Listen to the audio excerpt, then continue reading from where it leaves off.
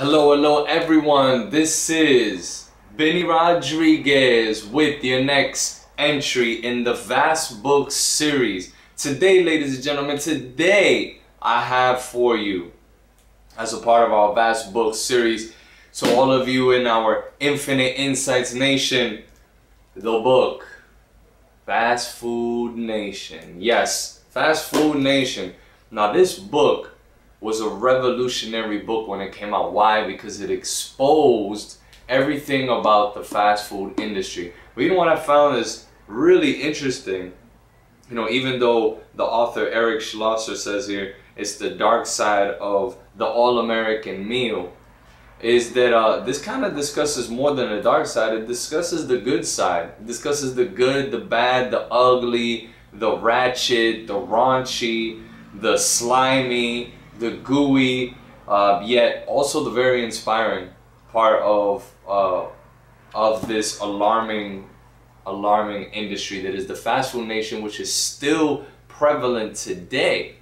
So I'm gonna share with you uh, some quick takeaways from the book overall, and uh, hopefully this serves of some value to you. So first of all, uh, I remember that the book starts from the point of view in Colorado Springs, and there was a uh, there was a mine that was dug out where uh, un underneath that mine, uh, within this hill, was this entire industry uh, that was producing the that was producing the food for the fast for a fast food company.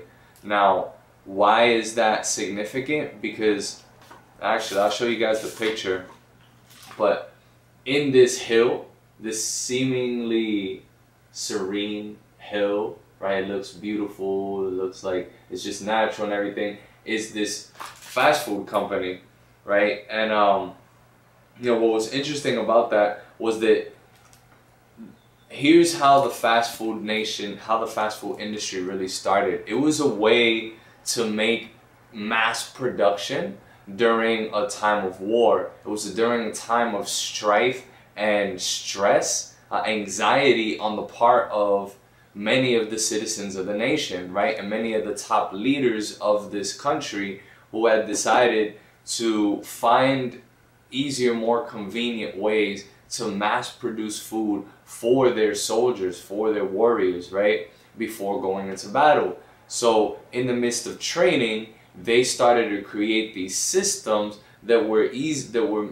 leveraging these companies that already had a great system, right? Such as McDonald's, KFC, Burger King, Pizza Hut, right? They already had a system that can get pizza or burger or french fries or something that was already handmade, something that could easily be stored, right? Something that could easily be transferred and heated up quickly so that in times of war, in times of panic, then people would, the people who were serving for the war, would have a quick way to eat, right? And it wouldn't take too much time, right? Imagine you're in the middle of a war and all of a sudden you're boiling potatoes and it takes like an hour for those potatoes to boil. Anything can happen. A freaking bomb could just like blow up in your face.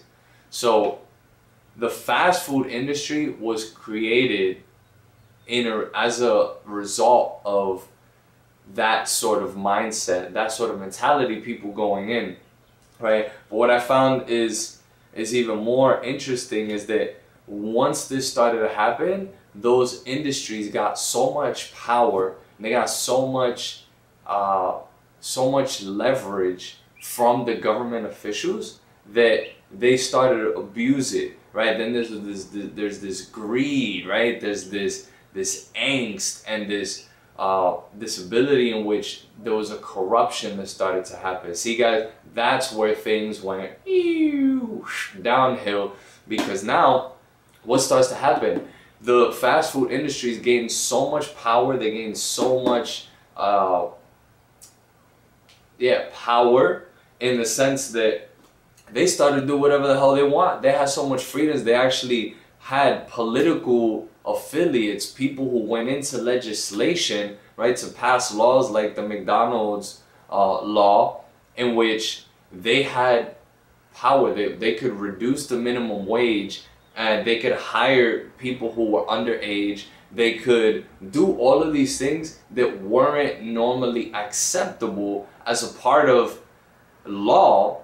And now they could tweak it and manipulate these things for their own advantage. Resultantly, these uh, industries became mega empires because now they were supported by the government, right? So just so much greed, so much, uh, so much corruption that's going on in throughout the way. What ends up happening is that growth just continues to happen, continues to happen, right? McDonald's, Burger King, Pizza Hut, they just have so much authority, right? They which results in so much expansion, right? Because now it's easy for them to grow. Now they could hire whoever the hell they want. They could impose any type of laws that they want. They had the support. In fact, they even funded some of the presidential political campaigns. Imagine how ridiculous that is, right? But how many companies do that today? All types of companies do that today, right? But this was this was an innovative moment when those when the fast food industries started to do that. It was really the first of its kind. And that's what was really uh, haunting about these industries because they really uh, it was a dangerous situation in which they could do whatever it is that they wanted. Now, what ends up happening is that there was a flip side to this. There was a positive side because if you look at the economic advantage, millions and millions of people were being hired, right? Also, the thanks to the fast food industry, they were creating and the franchise industry, they were creating the largest movement of new millionaires, right? So all of these millionaires, people creating wealth was a result of these fast food industries, people who were starting their own franchises, right? Today, a franchise for McDonald's Burger King is about $1.5 million to start and people are still having successful businesses, right? Not all of them. A lot of people failed along the way, right? But what ended up being created was an immense amount of wealth. So what do you think was the end result of that? Well, the fast food industry became even more powerful, right? It became even more powerful because there was the economic advantage, right? How many people they were helping. But were they helping everyone? No, ladies and gentlemen. In fact, a lot of people started getting sick. A lot of people started getting ill. Right? We had children who were working in these in, in the factories, children who were working at the stores, people who were working way below minimum wage. We're talking a seven to seven dollars minimum wage in some cases. Some people working one dollar eighty six cents minimum wage. In fact, so imagine right? Imagine the, the social, the socio-economic, socio-political uh, problems that have arisen from that. Not to mention, right, on a health standpoint, what was going on. See, this is a beautiful plan. This would have worked out amazingly if this was vegetables, right? Vegetables and like healthy foods, healthy eats. Imagine what this could have created for our generation if this was all created on that principle. But guess what? Fast isn't always, fast doesn't necessarily create healthy. And that was the entire psychological imbalance or shift was that something had to give. And what gave? Health, right? Eventually, uh, E. coli was starting to happen. They found on, on one hamburger, they, a frozen hamburger, they found out that the that the um, there was a strain of E. coli. I think it was H uh, H. 2047 I think was the exact strain of E. coli that was found in these burgers that by the time that the government seized those burgers that was making people ill and unhealthy, hundred, hundred and fifty of them they were able to seize. 350 million were already distributed worldwide because it's fast, fast, fast, fast, fast. How do you catch up to 350 million burgers that are already infected? Insane, isn't it? Right? They were able to salvage 150 million of them and quarantine them, but one burger for every person in the entire nation at the time was already in distribution.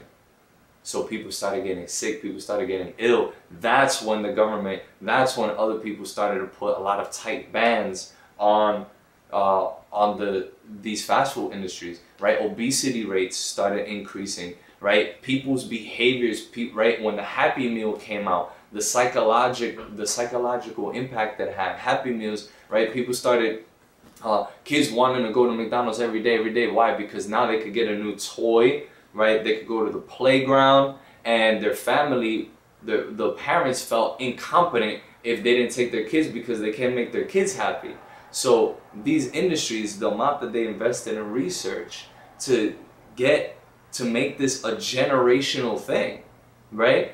Meant that people are now gonna go to the restaurants at all times. Now, wouldn't any business owner want that? Of course. The problem is that these business owners were providing food that wasn't having a healthy impact on their children, a healthy lifestyle, right? So what ends up happening is the family becomes ill health, the children become ill health, and that passes generation after generation. Frightening stuff, guys. Frightening stuff. Um, I won't give you all of the juicy details, but I highly recommend, highly suggest that you get, get this New York Times best-selling book and that you look into further the fast food nation, right? You'll learn a lot of the origins of how this all started, right? And guys, it's very powerful. I know you want to watch the documentary, most of you want to just watch the movie, but I'll be honest with you, a lot of that is just glitz and glamour. Read the freaking book. The book will give you the real truth, the real answers. Alright, so Fast Food Nation, Eric Schlosser, this is again your ultimate reviewer. This is Vinnie Rodriguez, also known as 8 Figure Vision.